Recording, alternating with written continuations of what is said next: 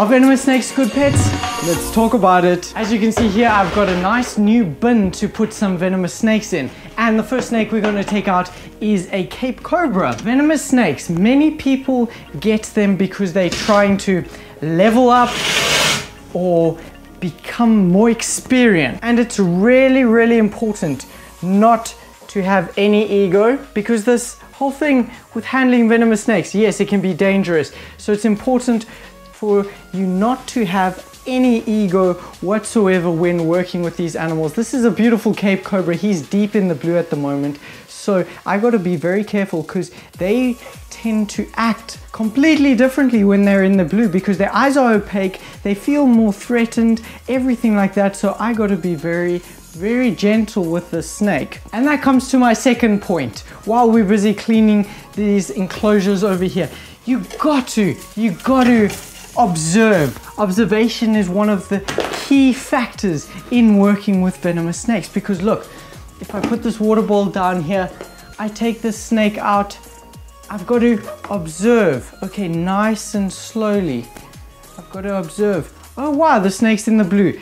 There, that means I'm going to react totally differently when handling this animal because yes, he feels more threatened so I got to make him feel a lot safer. And as you can see I'm not tapping him. I'm not acting crazy because that in turn makes it way way more difficult to handle the animal because yes it looks cool. They might hood up but it is far more dangerous for you and it stresses them out. So keeping venomous snakes does not make you a good keeper. This is one of the many misconceptions that comes with working with these animals. People want to so-called level up because they believe that they've maxed their experience and their abilities with the animals they have and are currently working with. Keeping venomous animals does not make you a good keeper. In many cases, I've seen quite the opposite on the contrary. Horrible noise! Keeping these animals makes it far, far more difficult just to do the daily maintenance because you're thinking about yourself, your family, and the animal. You've got to be very careful and be in the right mindset always 24 7 when working with these guys.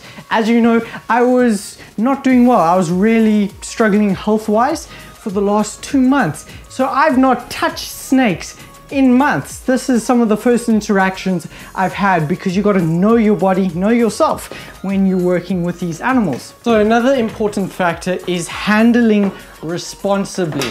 And what i mean by that is not not just taking the animal for granted but being very gentle with this incredible species over here. Many things that people tend to do is tap the tail of the snake so it can quickly go inside. No, we don't want to do that. We don't want to scare this animal because we're wanting to build trust with it. So it's nicely going in there nice and slowly. And that's what we want because this animal knows, okay, Bryce is not going to scare it. So I am building trust with the animal, not saying I'm taming it, more conditioning it. So it's not afraid of me and that can be dangerous and good in different ways. It, complacency is where it can become dangerous, but you want to not scare these animals and build trust because that makes it safer for you. It's not going to try and bite you 24 7 because it's afraid. You don't want to always try and make the snake hood up, flare up, and go all spastic. You want to build trust with the animal. Here's a perfect example with this little snouted cobra.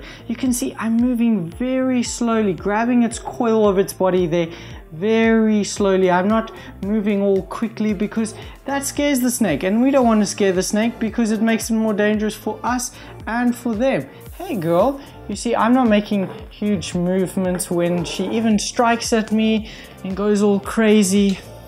And there's other things like, look at this.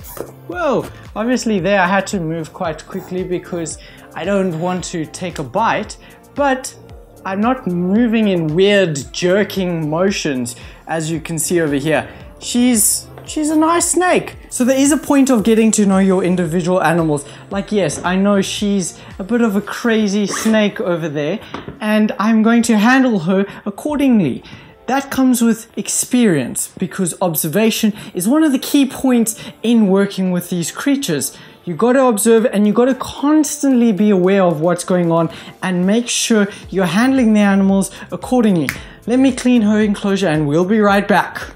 Another thing is impulse buying. Buying an animal just because you've seen it and you want it. I've seen far, far too many people walk away at an expo with something like a white lip pit viper because they want it. They've had no experience. They kind of got the mindset of get it now, learn later when you don't even have a setup or experience to work with that kind of animal. Over here we have the female Cape Cobra who is a very feisty individual. She's getting some nice size to her, but she is grumpy. You got to learn from somebody with experience. But the thing is, there are many people out there that you do not want to learn from. You got to be very careful not to be in a hurry to die.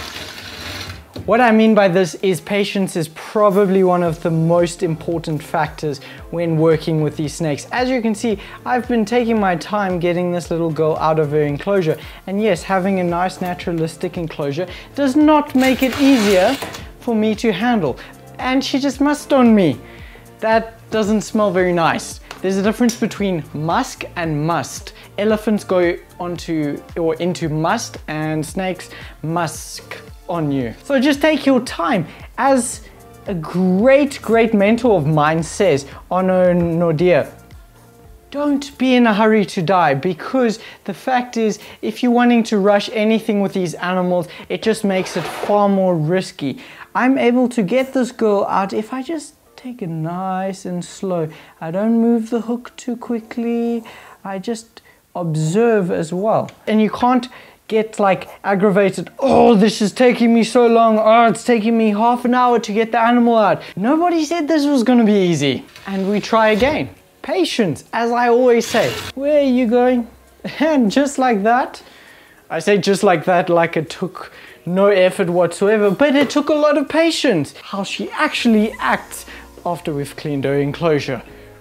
Another thing is knowing your limits. You gotta know your personal limits of what you can handle with. Like if you're feeling fluish, if you're feeling sick, don't work with these animals. It's literally that simple individual care of each animal is very different. Like, look how she is reacting towards me. I am a big, scary predator that's going over top of her now. Look how far her head is off the ground. Look how big I am. I'm really threatening. They're afraid of you. You don't have to be afraid of them. Yes, you got to be very careful. Like handling mambas for instance. It's actually not too difficult once you have the experience and the knowledge and the know-how on how to do it. It's just about taking your time, working very slowly. You can see I'm not jumping when she strikes at the hook stick over there. She's tongue flicking now, quite curious. I can slowly pick her up there. Every movement I've got to make has to be nice, calculated, and slow. Complacency happens with experience in many cases. Guys that are very experienced take little risks. They'll stick their hand in the water bowl or in the enclosure to take out the water bowl just because, you know, I've done it a thousand times, what's gonna happen?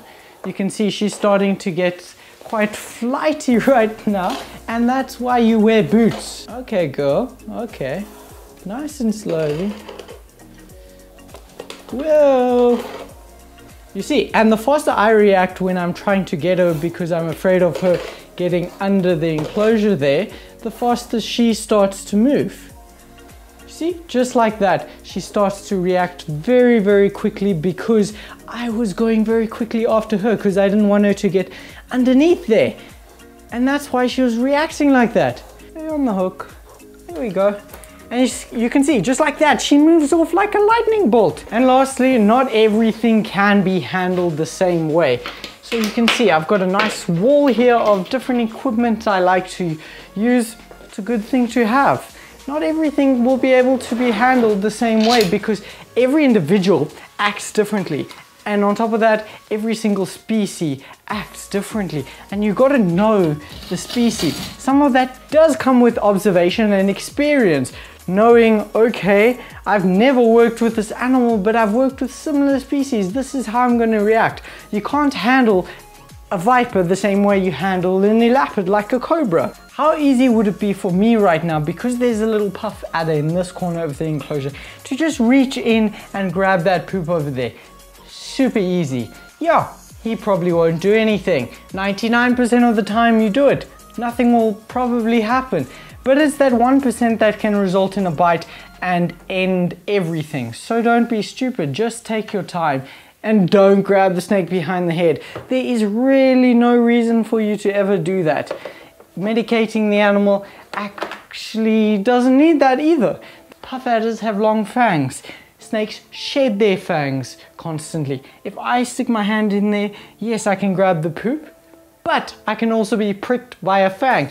That's why you'll see maybe I handle the poop of elapids with far more ease and kind of scoop it up with a bit of the substrate, but something like this over here, I can get pricked and then envenomated from a fang that has gone through the digestive system of something like a puff adder. Yes, it's not that likely, but it can still happen. The venom does seem to be denatured in some ways, but I've also heard stories of people being pricked by snake poop fangs and then having severe reactions towards that. I just need to spray where the poop was, where the defecation was, with a bit of disinfectant.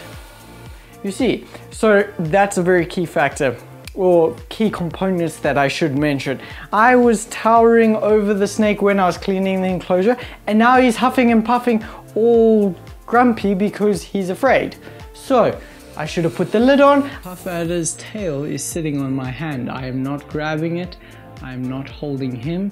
He's just resting on top of me. He knows, okay, Bryce is not grabbing his tail like a predator would. So in short, don't act like a predator, don't act like prey, and just observe.